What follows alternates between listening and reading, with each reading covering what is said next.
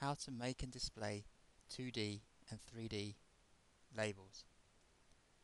Click on the Label tab here and if you want to select a 2D label, click here. Enter your text. Change the font.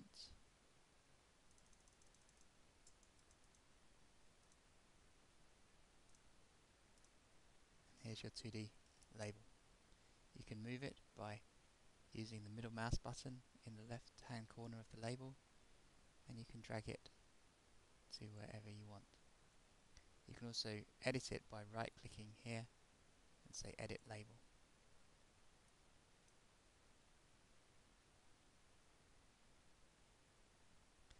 The same with the 3D label. Click here, enter the text,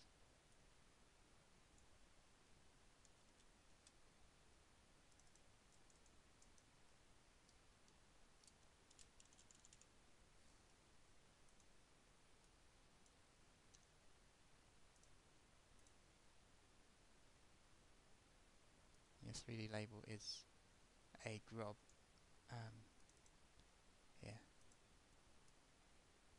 So you can also move that using, you can either um, select it here or use the middle mouse button to drag it wherever you like. You can remove the purple uh, coordinate but, uh, display by using escape.